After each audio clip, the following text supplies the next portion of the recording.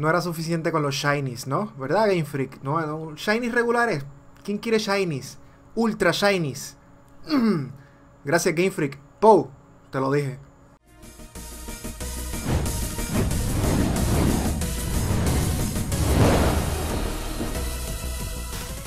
Bueno gente, gracias por estar viendo nuevamente uno de mis videos. Bienvenidos al canal de Pokémon Let's Go Framer. Vamos a hablar de Ultra Shinies. No estamos hablando de Shinies regulares. Bueno, se ven, son parecidos, son iguales en realidad. Lo que cambia es solamente una cosita y eso es lo que vamos a estar hablando en este video. Bueno, por lo menos creemos que lo que cambia es solamente una cosa.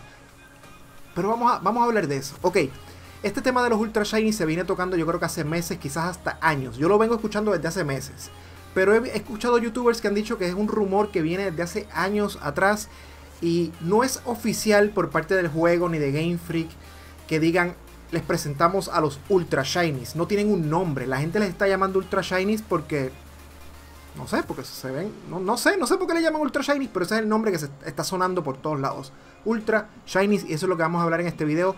¿Cuáles son las probabilidades de que puedan conseguir un Ultra Shiny? ¿Cuál es la diferencia entre un Shiny regular y un ultra shiny, esas cositas. Y vamos a empezar por la información que tenemos de Cerebi.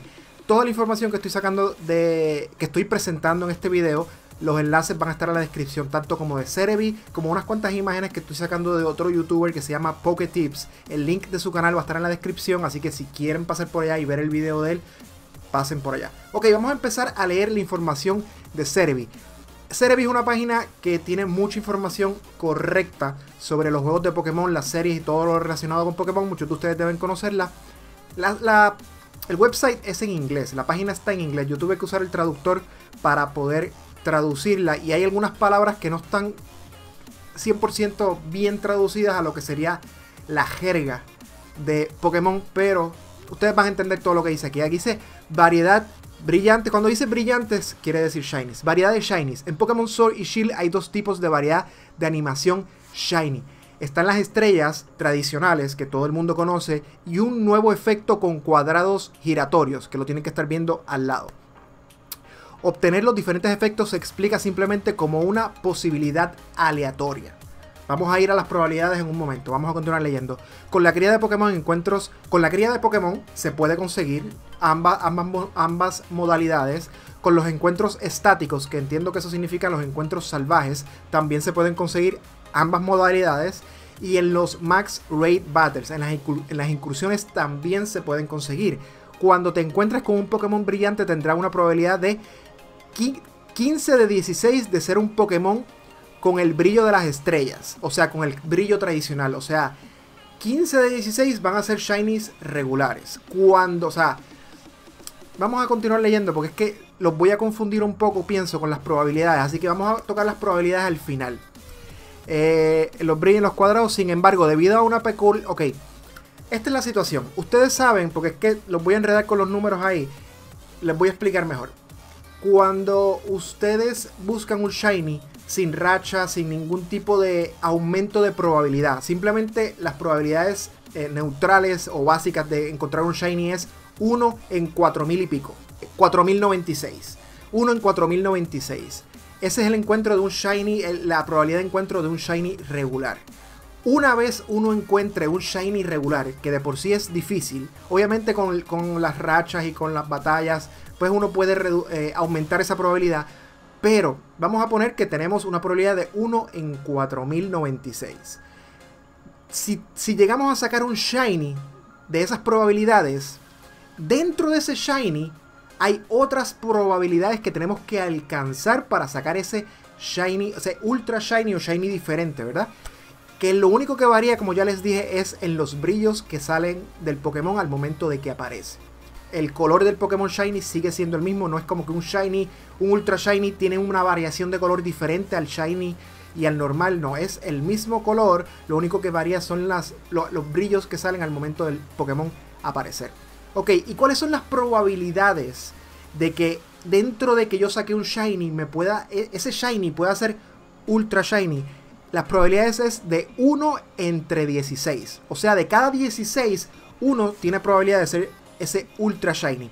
En este momento hay algo en el juego, no se sabe si es un error, no se sabe si es a propósito, Pero en los encuentros salvajes, en los encuentros salvajes únicamente, la probabilidad está invertida.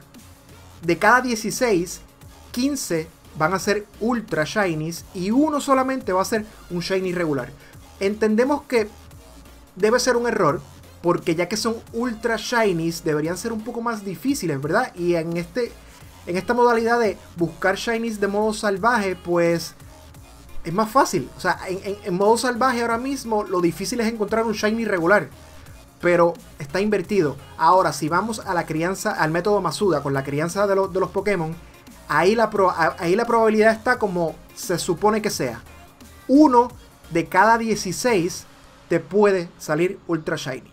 O sea, uno de cada 16 Shinies. Recuerden eso bien. No es como que uno de cada 16 Pokémon que veo, que veo. No, es uno de cada 16 Shinies. Así que la probabilidad es bien, bien bajita. Si lo vemos en cuestión de probabilidades totales, para uno poder encontrar un Ultra Shiny es 1 en 60.000, que esas probabilidades son casi, casi nulas. O sea, es, es, rarísimo que alguien vaya a encontrar entonces un Ultra Shiny. Por eso es que nadie ha presentado un Shiny regular en aparición salvaje. Nadie, o sea, se entiende que todavía no hay un video de que eso haya ocurrido porque debe ser tan y tan difícil. ¿Y por qué digo shiny regular? Porque ahora mismo los encuentros salvajes, lo difícil es encontrar un shiny regular. Lo fácil es encontrar un ultra shiny, como le quieran llamar. O sea, no, no tienen un nombre oficial, pero ya ustedes me están entendiendo a lo que yo me refiero. Ahora, estamos hablando de encuentros salvajes, ya tocamos ese tema, encontramos el método Masuda y también se pueden conseguir en, los, en las incursiones. Todavía no he visto algo en las incursiones que indique que pueda salir de esa manera como un Ultra Shiny. He visto Shinies regulares, pero no he visto Ultra Shinies. Pero de seguro también se puede. Ahora, ¿qué va a pasar? ¿Qué Game Freak hará? ¿Arreglará esto con una actualización? ¿No lo arreglará con una actualización? ¿Será a propósito como que, ok, en Encuentros Salvajes, ya que quizás es un, poco, más difícil que el método Masuda, pues invirtieron a propósito los valores y mira, es más fácil sacar Ultra Shiny de esa manera no sé qué pensar. Lo que sí sé es que si es un error y va a llegar el momento que lo actualicen, entonces se va a poner bien difícil la cosa para poder obtener un Ultra Shiny, por lo cual yo creo que voy a hacer Shiny Huntings un poquito más seguido de lo que yo pensaba. Yo pensaba enfocarme más en la historia, pero creo que esto me, me motiva a decir, espérate, esta oportunidad no se puede dejar pasar. Hay mucha gente que ya está consiguiendo sus Ultra Shinies y si llegado el momento llegan a actualizar el juego y remueven, o sea, no remueven, pero invierten los valores de, ese, de esa fórmula, de esa ecuación o lo que sea que, sea eso. Yo no soy programador, no sé nada de eso, pero si invierten esos números, los ultra shinies van a ser ultra difíciles. Así que aquellas personas que les guste ser, o sea, les gusta encontrar shinies, aquellas personas que sean shiny hunters, eh, mi recomendación es que empiecen lo antes posible porque va a llegar el momento si es que pasa, ¿verdad? No se sabe todavía Game Freak. Yo dudo que Game Freak haga, hable sobre este tema. Simplemente si hacen una actualización la hacen y ya. Pero si llega a ocurrir, pues los Ultra Shinies, como les dije, van a ser ultra difíciles. Este video como tal no, no estoy tocando el tema de qué podemos hacer para aumentar la probabilidad de encontrar un Shiny. Si quieren saber o el método de Shiny Hunting de este juego nuevo, qué es lo que deben hacer para aumentar su probabilidad, tengo otro video que voy a dejar por ahí para que lo vean. O en la descripción también va a estar el enlace para que vean ese video de qué es lo que deben hacer para aumentar las probabilidades de que ese Pokémon que están buscando Shiny aparezca. En este juego es una combinación de, unos juegos viejos contra con Let's Go y combinaron varias cosas que te ayudan a aumentar la probabilidad. No es tan fácil como Let's Go. En mi experiencia, la única vez que he hecho Shiny Hunting no ha sido tan fácil como Let's Go. Mucha gente ha dicho lo mismo, como que no, no es tan sencillo sacar un Shiny como el Pokémon Let's Go pero ya hay mucha gente con sus shinies, obviamente es cuestión de suerte. Sí, las probabilidades ayudan, que aumentar las probabilidades, pues todo el mundo quiere aumentar sus probabilidades, pero al final de cuentas tú puedes tener las probabilidades aumentadas al máximo, pero si la probabilidad no, no, no o sea, si la suerte no está contigo, no, hay shiny, no hay probabilidad que valga, porque no tuviste suerte esta noche en, cuatro horas de shiny hunting, pues lamentablemente tienes que continuar. Como estuve con mi Porygon yo, como, ¿cuántas horas fueron? 40, cerca de 40 horas buscando un Porygon shiny en Pokémon Let's Go. Así que déjenme saber en los comentarios qué piensan sobre esta nueva modalidad. ¿Cuál les gusta más? ¿Los shinies regulares que botan las estrellitas? ¿Les gustan más los cuadraditos, los cubitos esos? No sé cómo llamarle. Pero me gustaría saber qué opinan ustedes. consideran que en realidad no les importa cómo salga el brillo después que sea shiny el Pokémon porque su color cambia. Eso es lo que más importa. En lo personal a mí como que... Es que cuando a mí me ponen un reto, cuando me ponen algo más que uno puede encontrar, pues a, mí, a mí me... Como que me pica la vena de que... Ah, quiero. O sea, por lo menos uno. Conseguir uno y, para sentirme como que... Ok, tengo uno de cada uno. O sea, quizás no vaya a ser uno de cada uno, porque eso va a ser, yo diría, casi imposible. Pero por lo menos tener un Ultra Shiny y un Shiny en el juego nuevo no me molestaría y creo que a nadie le molestaría. Obviamente entiendo que vamos a sacar varios Shinies porque vamos a dedicarnos después de lleno a hacer Shiny Hunting casi todos los días. Pero por el momento estoy con el modo historia, ustedes saben ya, así que me dejan en los comentarios qué opinan de todo este tema de los Ultra Shiny, las probabilidades, piensen que lo vayan a cambiar otra vez para que los Ultra Shiny sean más, más difíciles que los Shinies. Me dejan todos en los comentarios. Espero que les haya gustado el video, se cuidan mucho y nos vemos en el próximo.